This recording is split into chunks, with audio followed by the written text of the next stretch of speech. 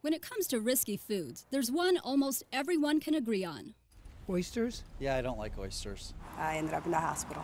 Raw oysters sicken around 2,000 Americans every year, and none are more dangerous than those out of the Gulf of Mexico, where the water is warmer, allowing stomach churning bacteria to grow. Cooking them kills that bacteria. But oysters don't carry the biggest risk of food poisoning. Leafy greens are responsible for 30% of reported illnesses. Peel and throw away the top layer and thoroughly wash them to avoid any possible E. coli norovirus or salmonella.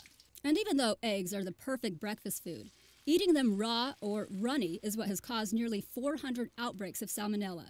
The bacteria can lurk inside the egg, but proper cooking will kill it. It is important to be aware of the risks, but don't avoid these foods altogether. They are still part of a healthy diet. I'm Jessica Sanchez reporting.